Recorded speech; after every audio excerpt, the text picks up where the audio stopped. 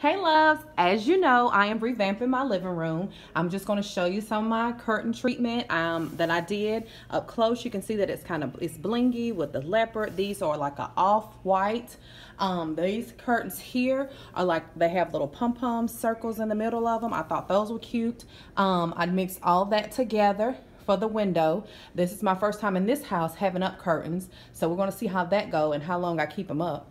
Um, this is the rug that I got and it is like a gold shimmering white pretty much match the curtains with the leopard and the bling.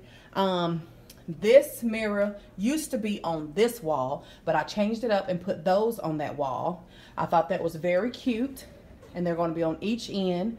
That is my cute mirror that I was telling y'all about. Um, I changed these up as well. They was over there with the mirror on the other wall so I changed those up. I put these on this wall. And then I actually changed the curtains that I had with little shag look I had on the other window where I got the curtain treatment up at now. I put these on my other area window over here in the diva dining area. So stay tuned guys. And these are just some pillows that I'm going to add and throw. I also before I close out I want to show you guys some things that I got from um, Burlington that I'm going to put on my ottoman, the white leather ottoman that's going to come with the furniture.